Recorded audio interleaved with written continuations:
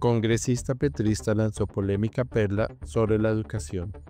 Obligar a un niño a ir al colegio es violencia.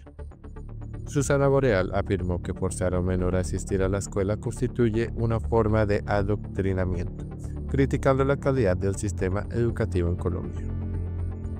La representante del Pacto Histórico Susana Gómez Castaño, conocida como Susana Boreal, desató controversia por sus recientes declaraciones sobre el sistema educativo en Colombia, en la que sostuvo que obligar a un niño a asistir al colegio es una forma de violencia.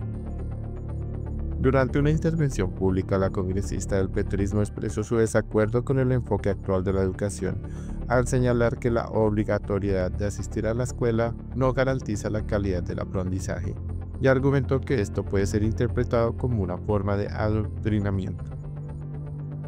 Yo siento que obligar a un niño a asistir al colegio, a mí me parece que es una forma también de violencia y una forma de muy evidente de adoctrinamiento, afirmó Boreal, generando críticas y debates sobre sus palabras.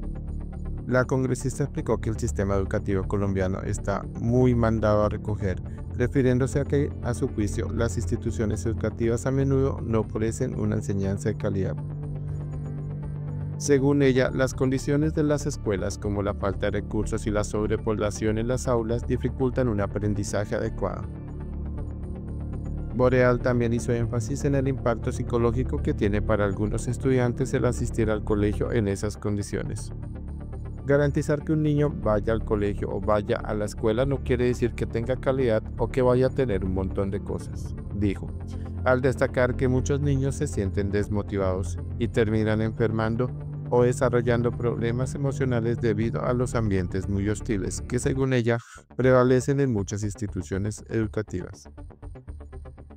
La congresista también cuestionó la infraestructura y el modelo de enseñanza actual, al mencionar que la práctica común de tener 50 o 40 niños en un salón con una profesora o un profesor sin garantías, lo que considera una clara manifestación de la falta de recursos y de un sistema educativo que no cumple con las expectativas de calidad y bienestar para los estudiantes. Nosotros pretendemos que eso es una educación de calidad y lo que realmente estamos haciendo es preparar, concluyó. Las declaraciones de Susana Boreal dividieron a la opinión pública, mientras algunos apoyan sus críticas al sistema educativo y la necesidad de reformar profundamente la educación en Colombia,